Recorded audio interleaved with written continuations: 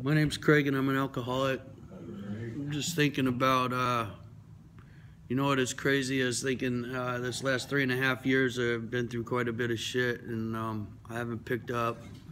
I haven't used any alcohol or drugs to numb my feelings and, you know, I've, I've, I've wrote it out and, and until, you know, I've had my breakthrough or until things, you know, came around and, uh, you know, it's crazy how, how life has its course, and um, if we don't try and alter it ourselves, things seem to work out, you know.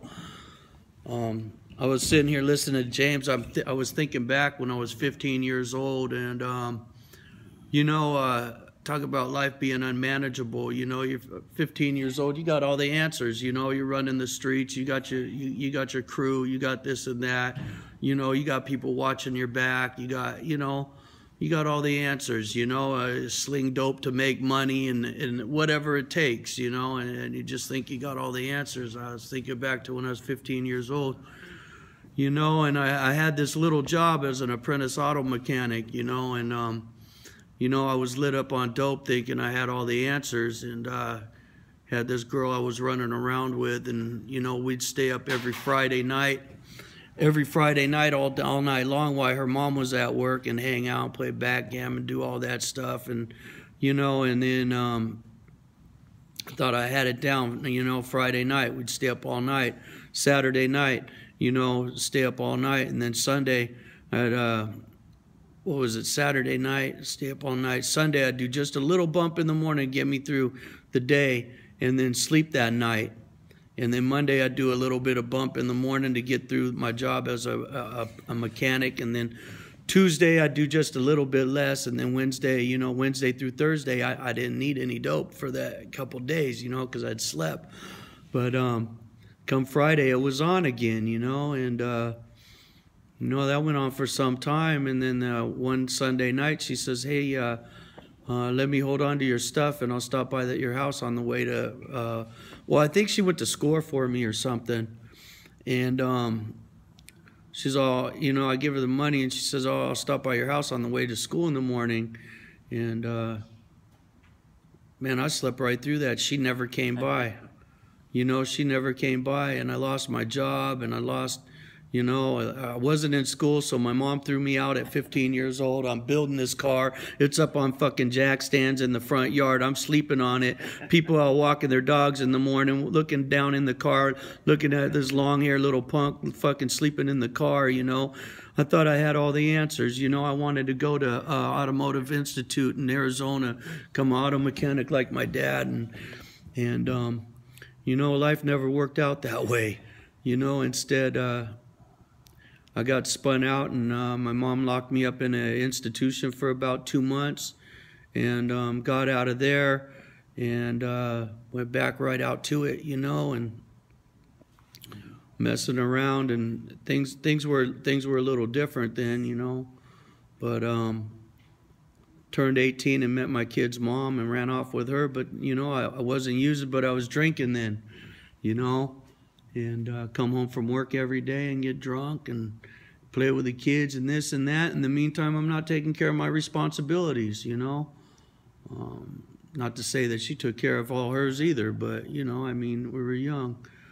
But uh, it's just it's just crazy because you know, years later, you know, I find myself crying out to God because. Uh, you know, she left me with the kids and left me with everything, and I'm going through all this, and I end up in church, and you know, and uh, man, I ended up sober for eight years, you know, but then when I, you know, I became a business owner, I made a lot of money, life was good, I thought I had it all down, you know, but in the meantime, I'm crying at night about watching my kids grow up with no mother, you know, and this and that, and, um, you know, eventually I ended up going back out drinking again for three years, and I found out I was miserable, miserable as fuck, and my best friend reached out to me and brought me in these rooms, since then I've worked these steps, you know, and um, you know all that misery I had and and all those decisions I made. You know, the first time in my steps, like my fourth step, you know, I I uh, worked out my resentments towards my kid's mom and and everything, and and figured, you know what, that was life. I I did what I could, you know, and and I've learned my lesson.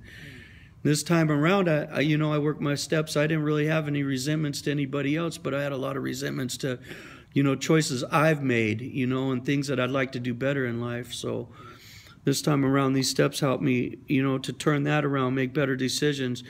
You know what? I can't believe where I'm at today. You know, I mean, three years ago, I was working a, a low paying job for less money than I ever made in my life. I owed taxes, you know, um, just all kinds of shit. You know, my kids, they grew up and moved out. I was alone. And, um, man, today I got a, a good woman, a great woman.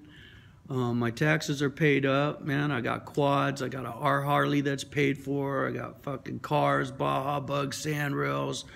You know what? I get to I, I get to go travel and see things today. You know, I get to li- live life free. You know, I don't owe anybody. I'm not bondage to anybody. You know, uh, man, this program's changed my life, man. All I know is that if you're new here today, if you're maybe even in here on a court slip or something else, you know, I mean, you know, we, we have our way out there in the streets and things are good, but I'm telling you, man, there's a better life out there to be had if you really want it, you know?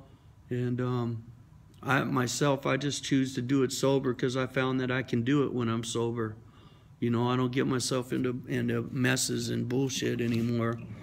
You know, I sit back and, and I kind of go with life like the wind now, you know? It's like I end up being right there for people that need me at the right time. You know, my friends, they lost their son and and it just so happened, you know, when, when something was telling me, hey, just go on by the hospital, man, I, I end up a hospital right at that time to be there to talk to them, help them through it. And, you know, uh, life is good, man. That's all I know. I just wanted to share with you guys, you know, that's what this program's done for me. Anyway, my name's Craig. I'm alcoholic.